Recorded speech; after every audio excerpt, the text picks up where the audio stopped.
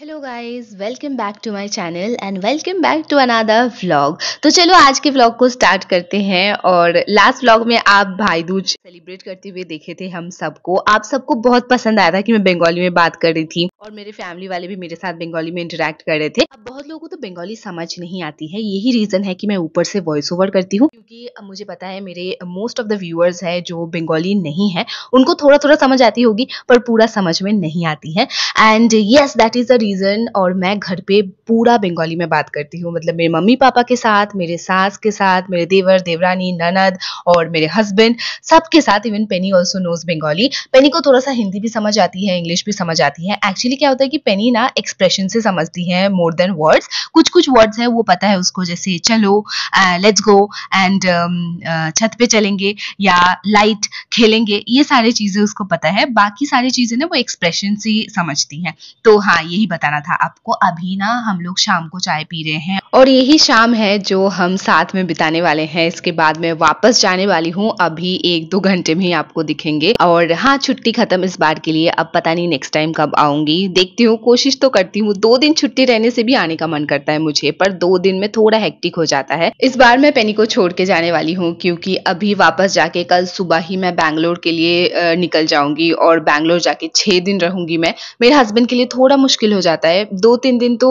वो संभाल लेते हैं, पर छह दिन उनको ऑफ़िस भी जाना पड़ेगा। एंड वी डोंट वॉन्ट कि पेनी अकेले रहे। घर से वापस जाने के बाद मुझे इतना ज़्यादा दुख होती है। पेनी तो और ज़्यादा सैड हो जाएगी, इसीलिए मैंने सोचा कि जैसे दार्जिलिंग गए थे, हम लोग उस समय भी छोड़ के गए थे। मैं छोड़ने के लिए नहीं आई थी, मम्मी पापा आए थे पेनी को लेने के लिए। इस बार मैं आई हूँ और छोड़ के चली जाऊँगी। हम लोग थोड़ी देर घूमने आए थे यहाँ पे, मैं, मम्मी पेनी को लेके और नानी माँ घर पे है। थोड़ी देर घूमने के बाद अभी वापस जा रहे हैं। अब हर बार क्या होता है कि मैं आती हूँ पेनी को लेके और पेनी को लेके ही वापस जाती हूँ। पर इस बार ऐसा होगा, पहली बार इतने साल में कि मैं आई हूँ और वापस जाऊँगी अकेले, पेनी को लेके नहीं जाऊँगी। पेनी को कोई आइडिया नहीं है कि ऐसा होने वाला है, इसलिए शी इज़ वेरी चिल देखो, उसको कोई फ़र्क नहीं पड़ रहा है क्या हो रहा है क्या नहीं। उसको लग रहा है कि हाँ हम आए हैं दो तीन दिन हो गए अभी भी दो तीन दिन रहेंगे शायद। एक दिन तो उसको लग रहा था कि दो दिन के लिए आते हैं मोस्टली हम तो अभी इस बार तीन दिन हो गए हैं, क्यों नहीं जा रहे हैं। बट मैं चली जाऊँगी और वो नहीं जाएगी, ऐसा उसको समझ नहीं आ रहा है। I will be really sad घर वापस जाके, क्योंकि मैं उसको मिस करूँगी। और ऐसा हमेशा जब मैं दार्जिलिंग से भी आई थी, फिर दो दिन के बाद मम्मी पापा आए पेनी को छोड़ने के लिए। उस दो दिन में मुझे ऐसा हो रहा था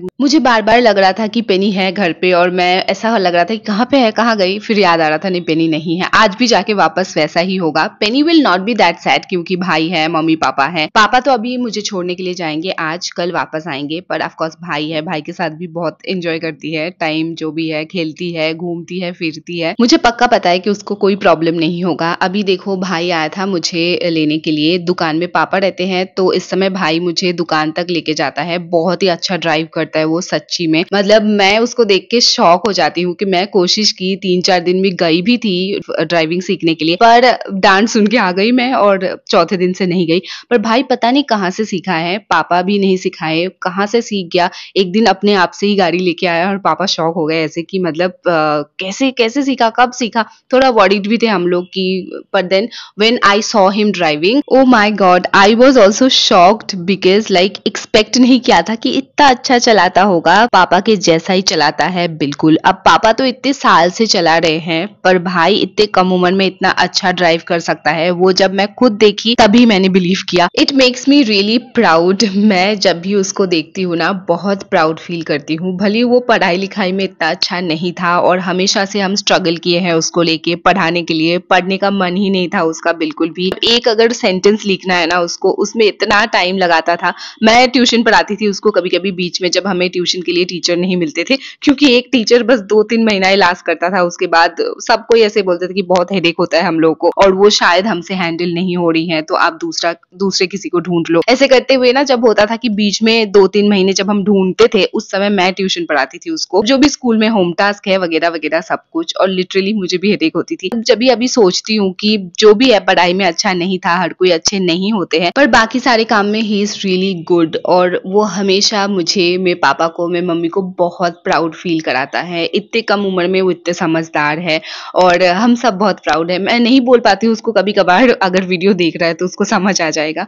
तो चलो हाँ अच्छे से करना, ये सुनकर ओवरवेल मत हो जाना और करना मत छोड़ देना। जो कर रहे हो, बहुत अच्छे कर रहे हो और अच्छा करो बेटर करो। हाँ उससे नीचे नहीं आना है, ऊपर ही जाना है। चलो देखो, यही सब बात करते करते करते हम लोग पहुँच गए हैं। अभी दो ढाई घंटे लगे, आज भी काफ़ी ट्रैफ़िक भी मिली हमको। पेनी के डैडी भी आ गए हैं हमारे साथ। तो मेरे घर से पेनी का मतलब मेरा जो ससुराल है, वो पंद्रह किलोमीटर आगे है। तो वहाँ से हम पेनी के डैडी को भी लेके आए हैं। हम साथ में आ गए हैं। बस पेनी नहीं है, छोटे वाले कमरे में पापा सो गए हैं। हम खाना भी खा लिए हैं। मोमोज और थोड़ा सा ऐसे राइस जो मम्मी बनाई थी, वो मैं लेके आई थी। मुझे थोड़ा सा मोमोज ही खाना था, बस राइस मैं पापा को और मेरे हस्बैंड को दिया था। मेरे हस्बैंड तो खाए नहीं थे तो उनके लिए स्पेशली भेजे थे मम्मी और जो भी बाकी चीज़ें भी बनाए थे, वो भी भेजे थे। अभी ना विंटर के लिए थोड़ा सा ड्राई हो रही है। वैसे भी मैं मॉइस्चराइजर लगाती हूँ, पर कोलकाता में साल भर आपको पूरे बॉडी में मॉइस्चराइजर लगाने की ज़रूरत नहीं होती है। कभी कभी लगाना पड़ता है, पर हाँ मतलब नॉर्मल क्योंकि मैं तो कैबिन में काम करती हूँ कैबिन प्रेशराइज होती है एसी चलती है हर समय तो मेरा स्किन थोड़ा ज़्यादा ड्राई होते हैं as compare to a normal person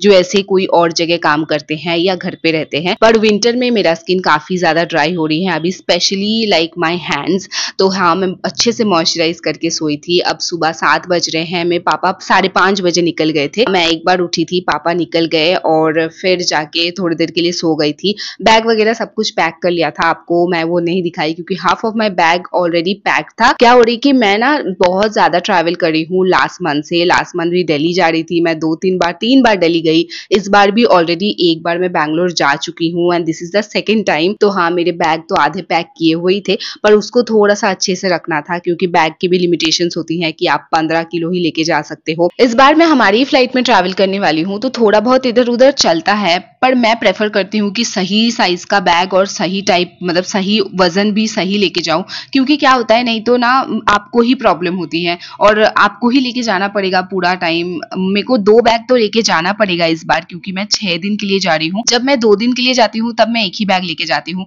इस बार मैं जाके फ़्लाइट ऑपरेट करने वाली हूँ। मतलब पहले नहीं तो क्या हो रही थी कि मैं ट्रेनिंग कर रही थी। ट्रेनिंग में होता तो छह दिन शायद मैं एक बैग में सोच सकती थी, पर फ़्लाइट का भी सामान रहती है एक सेपरेट बैग में। वो तो मैं ज़्यादा कुछ उसमें कर नहीं सकती, इसीलिए मुझे दो बैग लेके जाना पड़ेगा। अभी उठने के बाद मैं यहाँ पे फ्रेश हो गई हूँ, नहा ली हूँ और अभी ना ये वाला ड्रेस मैं जो पहनी हूँ, ये आप सब कोई मुझे पूछ रहे थे। तो मैं आपको बता देती हूँ, ये ना एक थ्री पीस सेट है जो मैं, के पास दो कलर में है, एक ब्लैक भी है घर पे जब गई थी तब देखे होंगे, पर ये वाला व्हाइट है व्हाइट वाला इज़ इवन मोर प्रिटी इसीलिए आप लोग मुझे पूछ रहे थे। ब्लैक वाला जब पहनी तब किसी ने नहीं पूछा, पर मुझे दोनों ही पसंद है, इसके मटेरियल बहुत सॉफ्ट फजी मटेरियल है। विंटर के लिए बहुत अच्छा है, ये मैं मिंत्रा से खरीदी थी। इसका लिंक जो है, वो मैं डिस्क्रिप्शन में मेंशन कर दूँगी। Just to let you know ये मैं बहुत अच्छे डील में मिला था मुझे। तो मैं कुछ 1900 1800 समथिंग मतलब अराउंड 1900 पे किया था। इसका फुल प्राइस कुछ 6000 समथिंग है। मैं आपको लिंक तो दे रही हूँ, पर आप सेल के लिए वेट करना। ये अब भी शायद आउट ऑफ़ स्टॉक है। जब स्टॉक में वापस आएगी ना तभी भी आप इसको फुल प्राइस मत खरीदना, क्योंकि ये छह हज़ार के वर्थ नहीं है। अगर आपको अच्छी डील मिलती है 1900 2000 आप सोच सकते हो। मैक्सिमम यू कैन पे 2500 फॉर दिस पर उससे ज़्यादा नहीं। मेरी गाड़ी भी आ गई थी और अभी मैं एयरपोर्ट पहुँच भी गई हूँ। मुझे पहुँचने में लिटरली लाइक तीन मिनट लगा। सुबह में ट्रैफ़िक नहीं होती है, नहीं तो पाँच से सात मिनट लगता है। अभी पैदल पैदल जा रही हूँ मैं और फिर टेक ऑफ़ करेंगे। टेक ऑफ़ के बाद बैंगलोर जाने में अभी कुछ ढाई घंटे लगते हैं। लास्ट टाइम भी मैं आपको बोल रही थी। ये टाइम जो है, ये टाइम डेफर करती है वेदर के ऊपर। हम अभी कोलकाता से टेक ऑफ़ करेंगे। यहाँ पे रनवे के पास आके हम वेट कर रहे थे। एक एयरक्राफ्ट लैंड हो रही थी। लास्ट टाइम भी मैं आपको दिखा रही थी, शायद दो तीन एयरक्राफ्ट लाइंड अप थे लैंडिंग के लिए। तो वो लैंडिंग क्लियर हो जाती है। उसके बाद जब रनवे क्लियर होती है, तभी जाके हम टेक ऑफ़ करेंगे। तो अभी आपको वही दिखेगी। हम टेक ऑफ़ करेंगे और उसके बाद ज़्यादा कुछ दिखाने जैसा है नहीं। मैं चुपचाप से बैठ के चली जाती हूँ। इस बार शायद थोड़ी सी नींद आएगी क्योंकि आज मैं वेल रेस्टेड नहीं हूँ। तो शायद मैं सो जाऊँ, थोड़ा सा। उम्मीद करती हूँ कि मैं थोड़ी देर सो जाऊँ, मुझे लगता है कि दो ढाई घंटे अगर मैं सो पाती ना, बहुत अच्छा होता। पर क्योंकि मैं फ़्लाइट में काम करती हूँ, मेरा बॉडी ना उस काम के जोन में आ जाता है, जब भी मैं फ़्लाइट बोर्ड करती हूँ।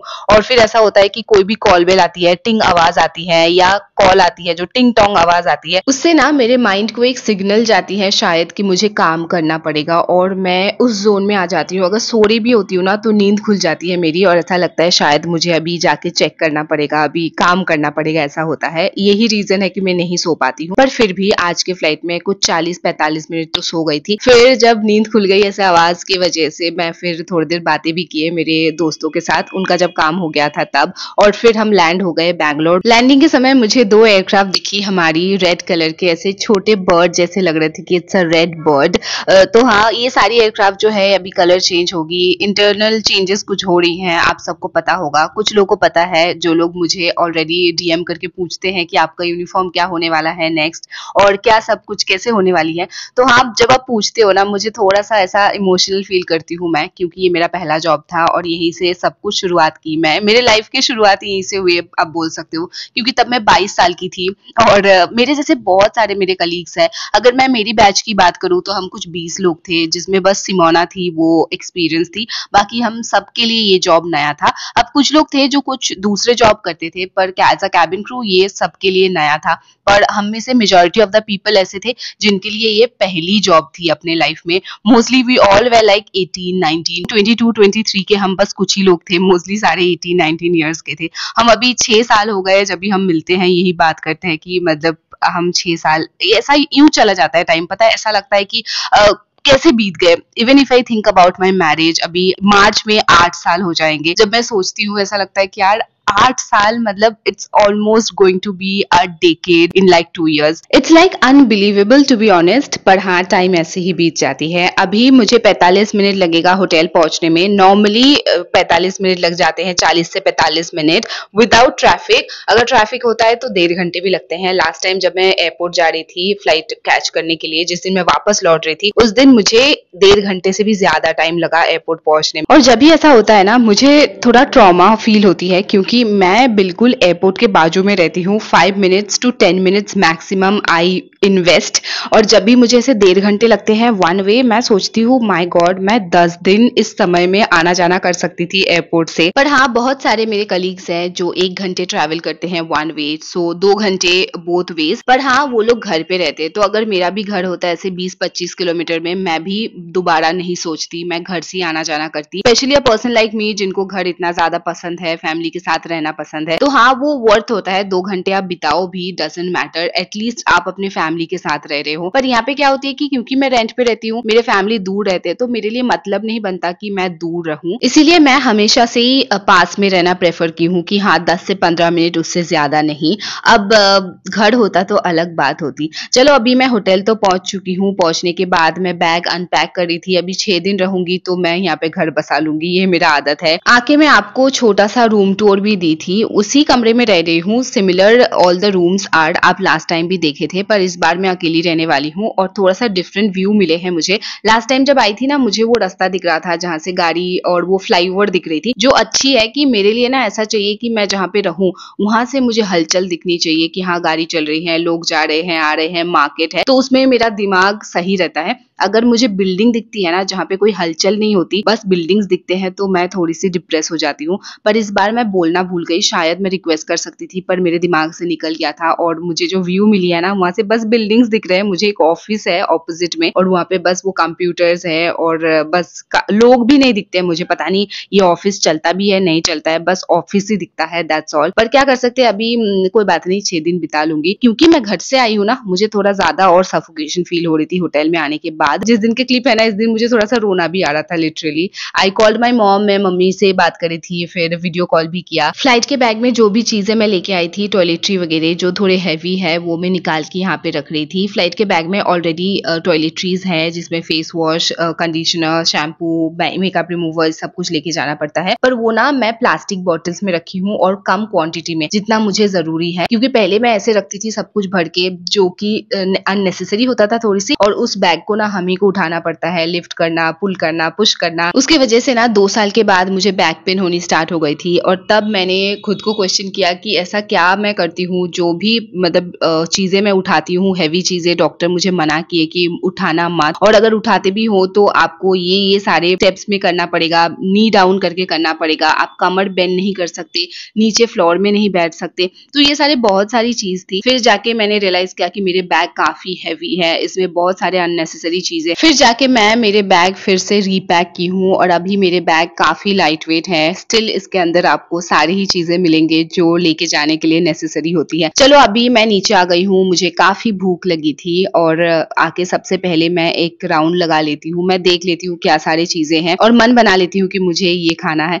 आज मुझे कर्ड राइस थोड़ा सा वेजिटेबल्स वगैरह, थोड़ा पनीर, मैं कोशिश करूँ कि वेज खाऊं और थोड़ा सा सूप पीना है। यहाँ पे आके मैं मोस्टली फ्रूट्स वेजिटेबल्स और सूप थोड़ा सा स्वीट्स भी खा रही हूँ। घर पे तो मैं स्वीट ज़्यादा नहीं खाती हूँ, पर यहाँ पे बहुत सारे ऑप्शन है। तो जो थोड़ा स्वीट कम होती है ना जिसमें वो सारे स्वीट्स मैं खाती हूँ। देखो, अभी यहाँ पे मैं आ गई हूँ खाना लेके, अकेली खा रही हूँ मैं, मेरे दोस्त लोग हैं, वो लोग अभी यहाँ पे रह रहे हैं, पर वो लोग ट्रेनिंग के लिए गए हैं तो उनसे मैं शाम को मिलूँगी, रात को, और आपसे भी मिलवाऊँगी। इस ब्लॉग में नहीं नेक्स्ट ब्लॉग में। तो हाँ आज के ब्लॉग के एंड में आ गए हैं हम। खाना खाने के बाद मैं ऊपर जाके ना थोड़ा सा तैयारी करूँगी फ़्लाइट का, क्योंकि सुबह फ़्लाइट के लिए जाऊँगी और जल्दी निकलने पड़ेंगे तो मैं ऑफकोर्स अभी शार ले लूँगी। और हाँ अभी आके थोड़ी देर मैं सो गई थी एक्चुअली फिर जाके मैं शाम को उठी। उठने के बाद सबसे पहले मैं शार ली। थोड़ी देर में दिखेगी वो आपको।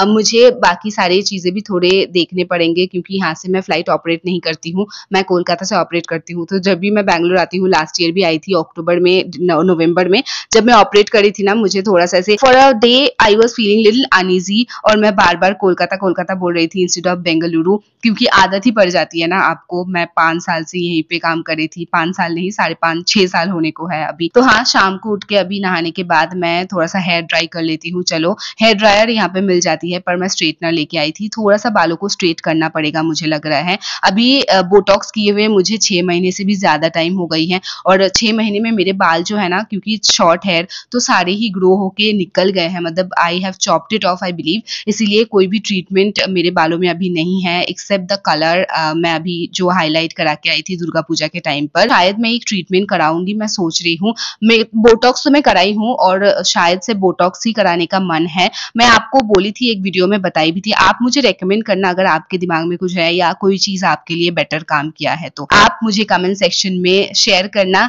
जो भी चीज़ें मैं पूछी हूँ इस ब्लॉग में, मैं कभी कभी रिप्लाई ज़रूर नहीं कर पाती हूँ, पर मैं सारे कमेंट्स पढ़ती हूँ और उसी के थ्रू मैं ना आपसे कनेक्ट करती हूँ। तो चलो, आज के ब्लॉग को मैं यहीं पे समाप्त कर रही हूँ। मैं मिलूँगी आपके साथ फिर से। आप अपना ध्यान रखिएगा। वीडियो पसंद आई हो तो लाइक करना मत भूलिएगा और चैनल को भी सब्सक्राइब कर लीजिएगा। Bye bye guys see you again very soon take care